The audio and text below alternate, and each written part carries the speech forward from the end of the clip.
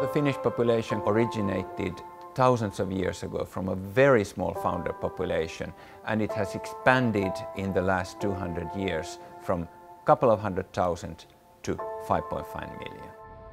Finland has a unique population history that has been relatively genetically isolated, presumably because of a great linguistic isolation, and this creates all sorts of opportunities that really exist in very few places in the world. In 2006, leading institutes and researchers in Finland established the Institute for Molecular Medicine, FIMM, to provide a platform for conducting molecular medicine research at the highest level.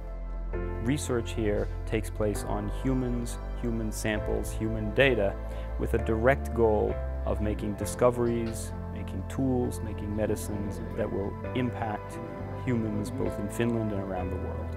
People at FIMM come from all over the world, from Europe, from Asia, from, from the States.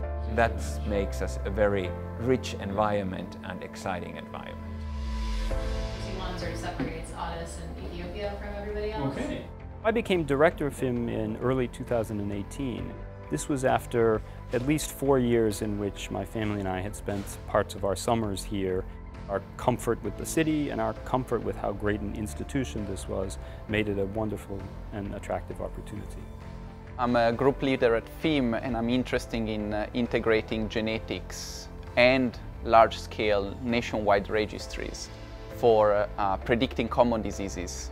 The combination of genetics and large-scale population information, this is what brought me to Finland. I will be joining FIMM next year as a HiLIFE tenure track assistant professor. I'm interested in the cellular basis of neurodevelopmental disorders. Right now there are big projects happening at FIMM which are really paving the way for advances in the interface between basic genetic research and the healthcare system. I work here at FIMM as an Academy Research Fellow running my own research group. The focus of my research is sex differences in health and disease friendly people, great data sets, different technologies. To me, FIMM offers all of these. In our research at FIMM, we have a keen focus on identifying novel targets for therapeutics that come from the Finnish genome and also developing much better predictors of who is at risk. We wanted to test out what it means to give back information, both clinical risk as well as the genetic risk on cardiovascular disease to see what impact on their lifestyle choices, on their medical history does it have. And that's when we started GeneRISK study. He can check out how his risk would be different if he didn't smoke. We had developed a web-based tool in-house, we called it CardioCompass. And, and what CardioCompass does, it combines the information on traditional risk factors with the genomic risk score and interprets it in an easy way. I'm a medical director and a GP at Mehiläinen, which is the biggest private healthcare company in Finland.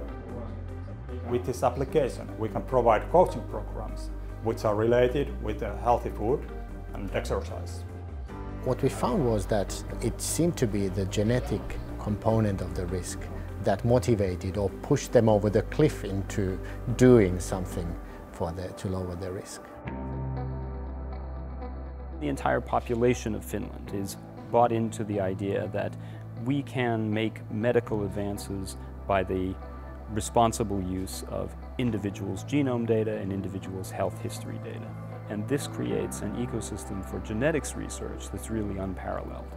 We're now taking the next steps in genomics in Finland with the launching of the FinnGen project two years ago, which is integrating the genome information from 500,000 Finns with their birth to death, health, and medical histories, and will be a fantastic resource for discovery and for ultimately testing new methods for prediction in the population.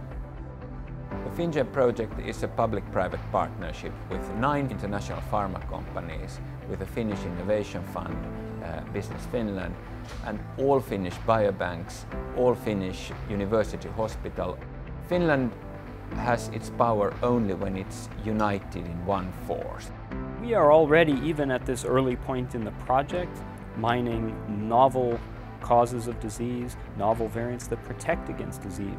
Ultimately, it would be fantastic if everyone um, in Finland was a participant in FinnGen. At that point, we would be able to deliver information to the entire population and really have the impact on healthcare that we'd like. The future of genomics is not just based in Finland, and one of the things that we're very committed to at FIMM is really starting to enucleate collaborative activities across Europe and across the world. We are going to be among the first country where the entire population will be genotyped. This is a unique testbed to implementing genetics in health and other aspects of uh, life as well. The future of genomics in Finland and FIMM is definitely bright.